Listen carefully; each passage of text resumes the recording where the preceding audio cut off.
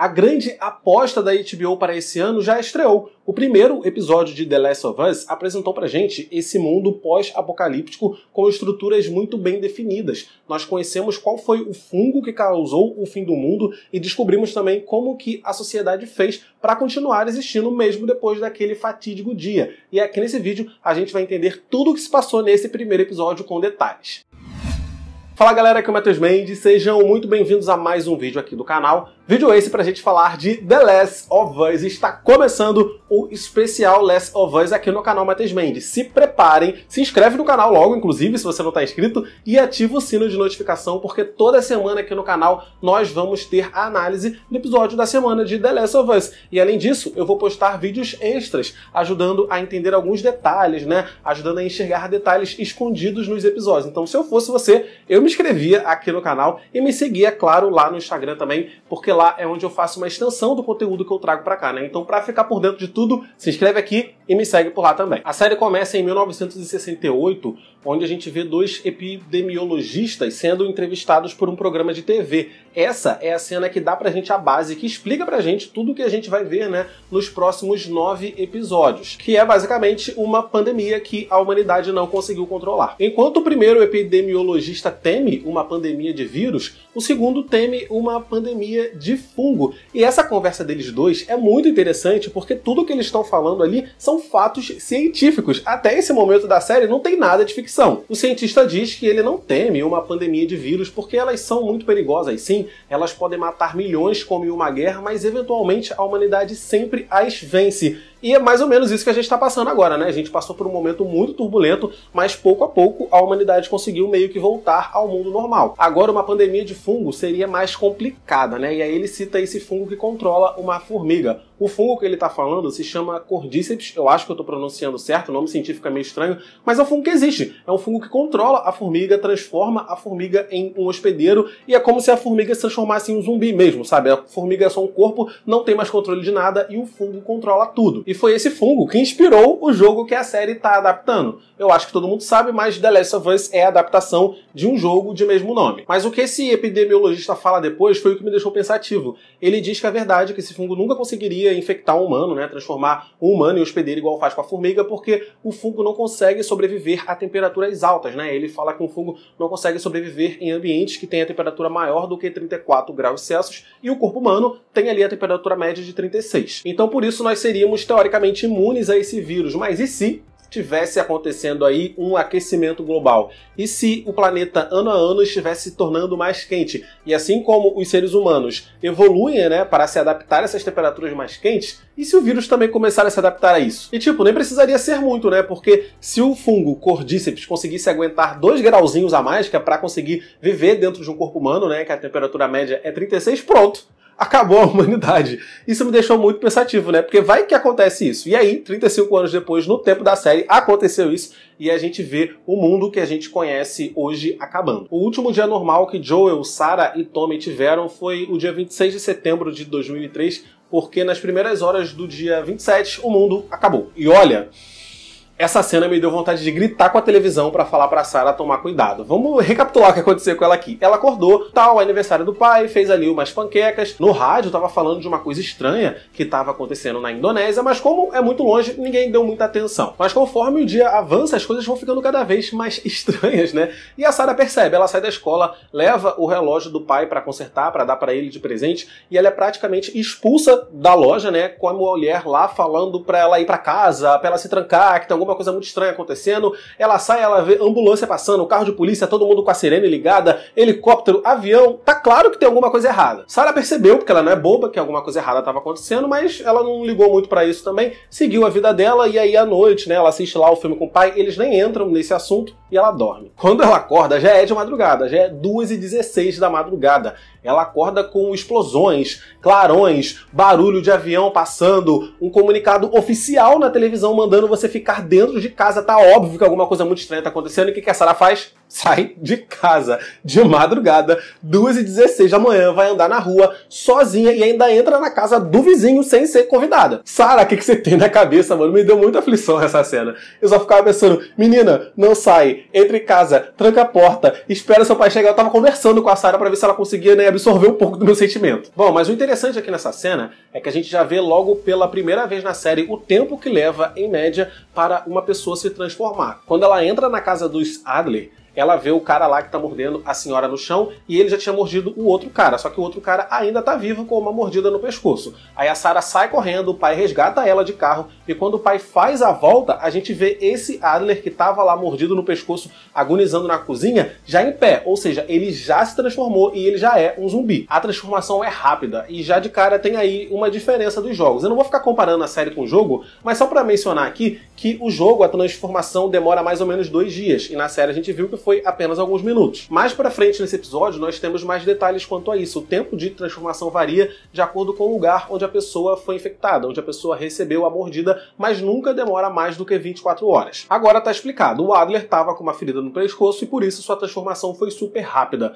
Mas confessar aqui para vocês, eu achei essa cena sensacional. Em séries assim, né, em filmes que mostram apocalipse zumbi, a cena que eu mais gosto de ver é o momento que o mundo acaba, o momento do caos, é o momento onde todo mundo percebe que fudeu. Estradas bloqueadas, provavelmente o governo tentando manter a infecção apenas dentro ali de um território, pessoas nervosas na rua, o cinema abrindo, o pessoal saindo correndo do cinema sem entender nada que estava acontecendo, aviões caindo, sério, toda essa cena desse caos foi sensacional para mim. Toda essa primeira fase da série eu já achei sensacional, poderia ser um episódio de cara, né? E esse momento já deu o um tom pra gente que a série The Last of Us vai ser uma série que a gente vai querer acompanhar até o fim sim. Tivemos ainda nessa primeira fase um traço da personalidade do Joel que vai acompanhar ele até o fim, que é o senso de proteção que ele tem pela sua filha, que ele mostrou pela sua filha e que ele mostrou pela Ellie também no final do episódio. No começo do caos ainda, quando eles estavam procurando uma estrada alternativa, o Tommy faz menção de parar para ajudar uma família ali, mas o Joey quer que ele vá embora, né? O Tommy até fala: "Nossa, eles têm uma criança". Ele fala: "Eu também tenho. Vambora".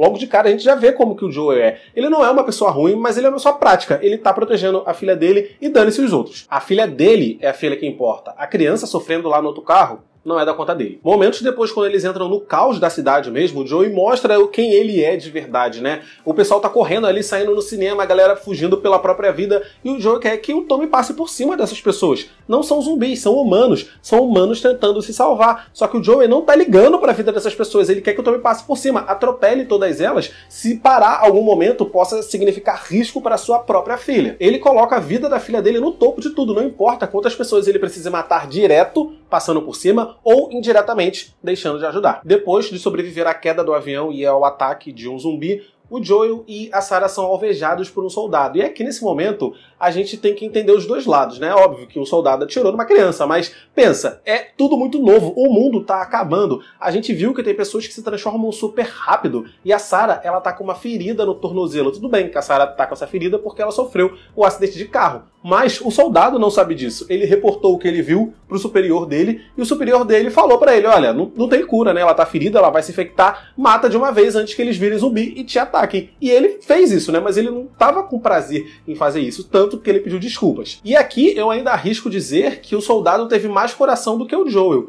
Porque pro soldado aquela menina já estava condenada. E pro Joel não, ele viu que as pessoas que estavam correndo ali não estavam infectadas, eram seres humanos correndo. E ele não estava nem aí em matar todas elas. E assim, Sarah morre foi uma cena espetacular. Eu já esperava por essa morte por conta do jogo, né? Eu joguei alguns pedaços, assisti muitas gameplays, mas eu imagino que quem foi pegar para ver só a série tenha ficado realmente surpreso com essa cena, porque assim, ninguém esperava. Eu, quando joguei o jogo, também não esperava que ela fosse morrer desse jeito. Mas é esse o acontecimento que molda para sempre a personalidade do Joel. Mas já passamos da metade do vídeo, então eu gostaria de pedir, por favor, para você deixar aqui o like, porque quando eu peço só no final, muita gente acaba esquecendo, então deixa o like, por favor. 20 anos depois, em 2023, a sociedade já se reorganizou. Sem conseguir controlar a infecção do fungo cordíceps, a sociedade resolveu, né, resolveu não, eles meio que se organizaram ali em zonas de quarentena. As cidades dos Estados Unidos entraram em lei marcial. Os sobreviventes não infectados foram direcionados a essas zonas de quarentena, né, que são lideradas pela FEDRA. FEDRA é essa agência, né, esse órgão do governo em resposta aos desastres e aí a Fedra controla essas zonas de quarentena onde ninguém entra ou sai sem autorização.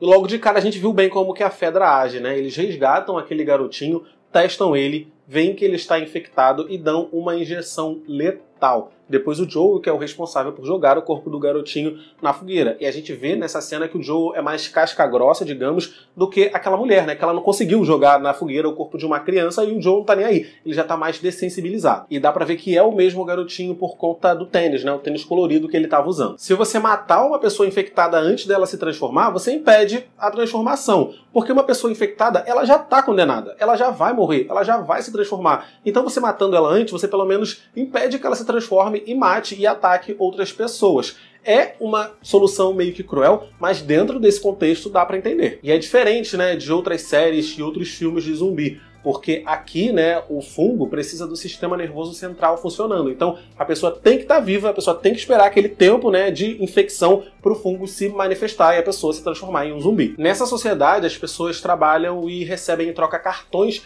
de comida, porque não tem casa da moeda, né? Acabou o dinheiro. Então, ali dentro das zonas de quarentena, eles trabalham, eles fazem os serviços que tem para conseguir se alimentar e trocam por cartões de comida e tal. O Joe, a gente viu que ele estava aceitando qualquer coisa. E o Joe ainda faz contrabando de drogas ali para agentes da Fedra, né? Então, assim, essas zonas de quarentena da Fedra, elas parecem ser bem funcionais, mas ao mesmo tempo são bastante autoritárias. As pessoas não são permitidas estar na rua, né, depois das 6 horas da tarde, e se alguém for pego entrando escondido ou saindo escondido, eles são condenados à forca. Então, assim, é meio bizarro. E também não há governo civil, é só aquele governo militar ali. Então, mesmo que as pessoas sobrevivam, elas perderam completamente a sua liberdade. E a gente viu, né, que o menino entrou, tudo bem, ele estava infectado, sofreu a injeção letal, mas na outra cena a gente viu outras pessoas que conseguiram entrar ali, muito provavelmente procurando um lugar para estar seguro, né, um fugidos infectados do lado de fora, e eles foram condenados à forca simplesmente porque entraram sem autorização. Se opondo às zonas de quarentena da Fedra, nós temos o grupo armado que se chama de vagalumes. Eles querem levar a luz, né? A Fedra tá lá nessas zonas de quarentena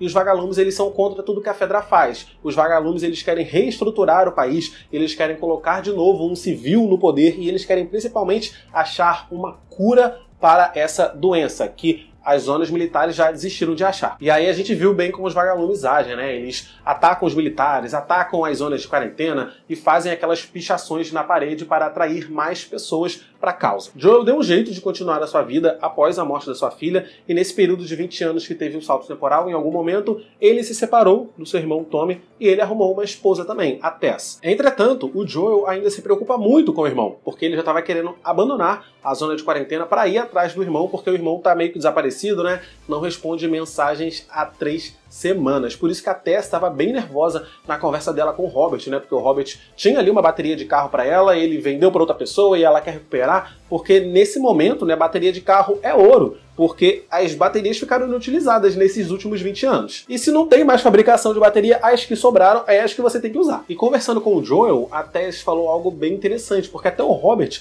ele estava meio que arrependido que os capangas dele deram uma coça nela. E a Tess fala pro Joel, né, que eram adolescentes, eles não conheceram o mundo anterior, então eles resolvem tudo na selvageria, são muito esquentadinhos. E se você for parar pra pensar, isso é a Ellie também. A Ellie não conhece o mundo de fora, ela falou pro Joel que ela nunca viu o mundo fora ali daquelas paredes da pedra, né, da zona de quarentena, e ela também é muito esquentadinha, ela também resolve tudo na selvageria. Fez bastante sentido o que a Tess falou aqui nessa cena, mas aí naquela outra cena, ela suborna um cara ali, né, dando cartões de comida para ele, para dizer onde que o Robert está. Ela e o Joel vão até esse lugar, onde eles descobriram onde o Robert está, e chegando lá, coincidentemente, é o mesmo lugar que os vagalumes estão, só que os vagalumes estão todos mortos. Não ficou claro o que, que aconteceu ali, quem que atacou os vagalumes, mas eu não acredito que tenha sido os militares, não. Acho que foi briga de gangue, porque depois eles ouvem barulho e falam: ah, os militares estão chegando, vamos correr, vamos correr. Então eu acho que deve ter sido uma gangue rival, sei lá, algum outro grupo. Bom, Ellie foi mordida há três semanas e até agora ela não se infectou.